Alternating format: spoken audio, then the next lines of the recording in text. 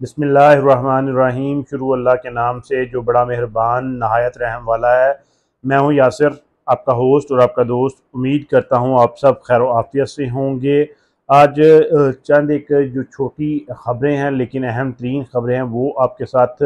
Share करनी है, जिसमें इस वक्त तहरीक इंसाफ ने अपने बाकायदा तौर पर मज़ीद छः अरकान को जो है, वो पार्टी रुकनीत जो है, उनकी मअतल कर दी है और इसके साथ साथ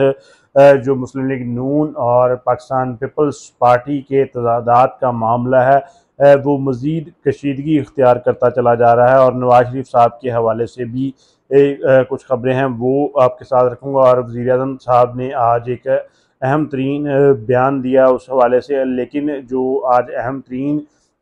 दो डेवलपमेंट्स हुई हैं, वो इमरान खान साहब के हवाले से हैं। इमरान खान साहब का जो ताकतवर हलकों से बार बार मुजाकरत की, मुजाकरात करने की पेशकश थी। अब उस पर जो है वो मुस्बत रिज़ल्ट आना शुरू हो चुका है और बहुत जल्द जो है इमरान खान साहब के ताकतवर हलकों के साथ मुजाकरात तय पा जाएँगे और इसके साथ साथ दूसरी खबर जो है वो भी पाकिस्तान तहरीक इंसाफ के हवाले से है कि परवेज़ खटक जो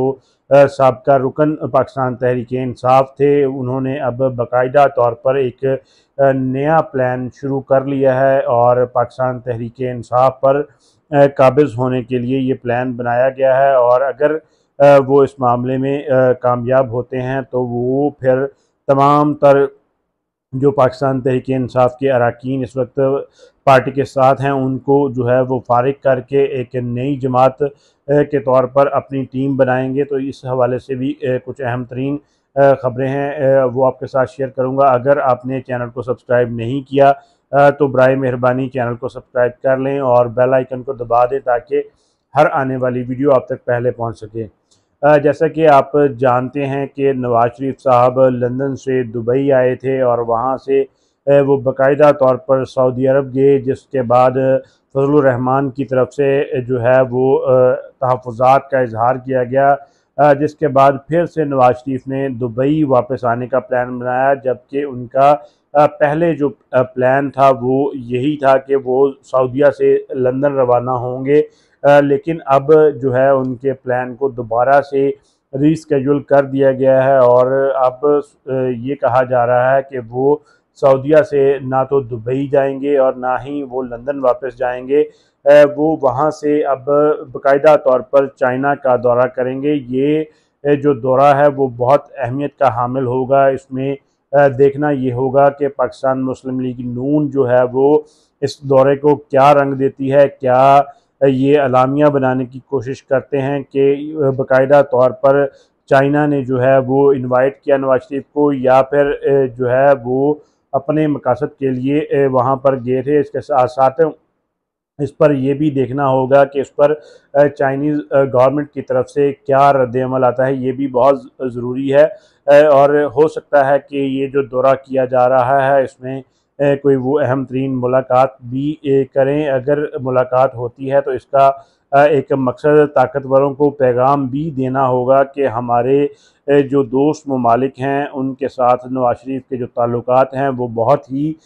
अच्छे हैं। तो इसलिए जो है अगली वजारत उज़मा का अहदा नवाज़ शरीफ को दिया जाए। इसके साथ शहबाज शरीफ साहब ने भी जो है वो बाकायदा तौर पर एक बयान दिया है। उन्होंने कहा है कि अगर हमें दोबारा से मौका मिला और हमारी हुकूमत आई तो हम पाकिस्तान की तकदीर बदल देंगे। अगर आप नवाज़ शरीफ को वज़ी अजम बनाएँ तो मैं आपसे यानी कि कौम से वादा करता हूँ कि पाकिस्तान की जो तकदीर है वो बदल देंगे। लेकिन इनसे ये सवाल वहाँ पर कोई भी करने वाला नहीं था कि आप जो गुज्त तीन दफ़ा आपके भाई जो हैं वो वज़ी अजम रह चुके हैं और गुज्त जो एक साल, दो माह से तकरीबन आप ख़ुद जो हैं वो बराजमान हैं तो आपने किस कदर जो है वो पाकिस्तान की तकदीर बदली है, वो आवाम भी जानती है और आप लोग भी बेहतर जानते हैं। तो इस तरह जो इस वक्त हुकूमत है वो अवाम को दोबारा से बेवकूफ़ बनाना चाहती है। और इसके साथ साथ शहबाज शरीफ साहब को जो तहफ़ात हैं, उन्होंने वो भी साथ ही इजहार किया। उन्होंने कहा कि अगर हमारे अलावा जो है वो कोई गवर्नमेंट आती है तो हम उसको सिद्ध के दिल से जो है वो कबूल करेंगे और बाकायदा तौर पर उनका साथ देंगे। उनको इस बात का अंदाज़ा है कि इसमें पाकिस्तान पीपल्स पार्टी भी आ सकती है और तहरीक इंसाफ भी जो है, अगर इलेक्शन में आती है तो वो भी एक अहम बात होगी। तो इस तरह उन्होंने अपना इजहार किया है कि अगर कोई और पार्टी है, वो भी आ जाए तो हम उसे कबूल कर लेंगे। और इसी असना में जो इलेक्शन के मामले पर इस वक्त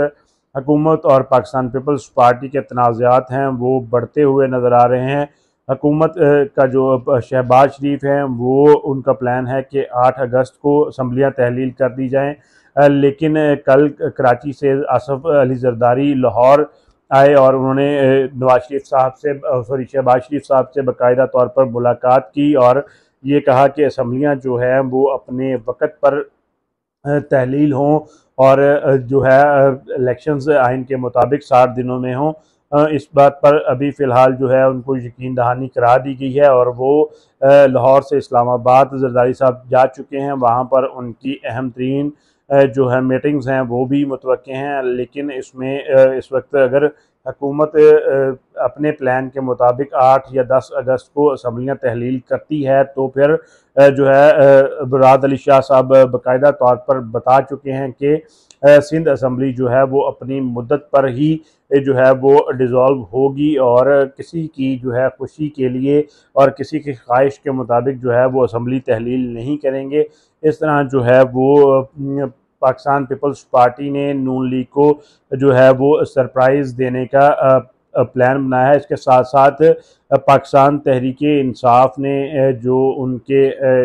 ये कह लें कि वफ़ादार लोग नहीं थे, जो बेवफा थे और जिन्होंने पार्टी के मुश्किल वक्त में जो है वो अपना दोहरा मैार रखा, दोहरे स्टैंडर्ड्स रखें ना तो उन्होंने ये क्लियर किया कि वो तहरीक इंसाफ के साथ हैं और ना ही ये क्लियर किया कि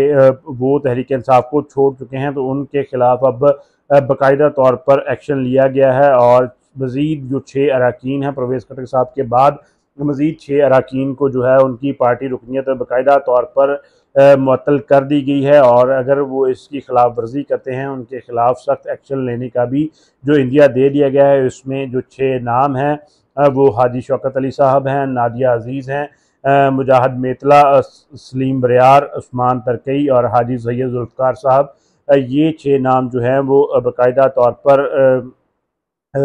इसमें शामिल हैं जिनको बुनियादी रुकनीत से फारिग कर दिया गया है। इमरान खान साहब आज दोबारा से एक ट्विटर स्पेस में तीन इंटरनेशनल लेवल के जो सहाफ़ी हैं, उनको एक अहम तरीन इंटरव्यू भी देंगे और ये आज दस बजे के करीब बाकायदा तौर पर ट्विटर स्पेस में उन्होंने आना था। इसके साथ साथ अब पाकिस्तान पीपल्स पाकिस्तान तहरीक इंसाफ ने बाकायदा तौर पर अपनी पार्टी को रीअलाइन करना शुरू कर दिया है और एक अहम तरीन अहदे पर जो है वो नया नया बंदा ले आए हैं और ये जो अहदा है वो चीफ़ इलेक्शन कमिश्नर का है। हर पार्टी का चीफ़ इलेक्शन कमिश्नर होता है जो तमाम तर इलेक्शन के मामला को देखता है। अब जो सेक्रटरी जनरल हैं उमर अयूब साहब, उनकी तरफ़ से बाकायदा तौर पर जो है वो ऐलान किया गया है कि बरिस्टर गोहर अली, जो इमरान खान साहब के तोशान खाना केस में भी वकील हैं। उनको अब बाकायदा तौर पर चीफ़ इलेक्शन कमिश्नर मंतखब कर दिया गया है। और इसके हवाले से जो आज की अहम तरीन ख़बरें हैं, वो पाकिस्तान तहरीक इंसाफ के हवाले से कि परवेज़ कटक साहब जो हैं वो